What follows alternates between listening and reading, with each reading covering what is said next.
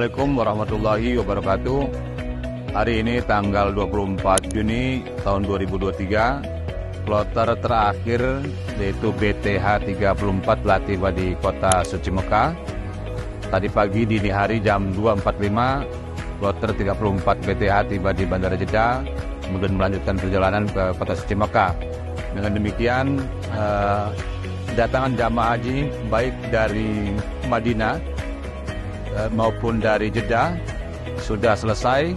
Dan hari ini uh, jamaah haji uh, tiba terakhir di uh, sektor 4 dan akan segera melaksanakan ibadah umrah wajib. Setelah itu menunggu sampai tanggal 8 Zulhijjah atau tanggal 26 Juni untuk bersiap-siap menuju Arafah, kemudian Muzdalifah dan Mina. Mudah-mudahan dengan berakhirnya fase kedatangan jamaah haji uh, segala sesuatunya berjalan dengan lancar. Uh, proses Armina juga berjalan dengan lancar. Jamaah haji bisa melaksanakan uh, ibadah haji secara sempurna. Dan kuarter terakhir ini seluruhnya berjumlah 165 orang jamaah. Haji mabrur insyaallah. Allahul muwaffiq ila Assalamualaikum warahmatullahi wabarakatuh.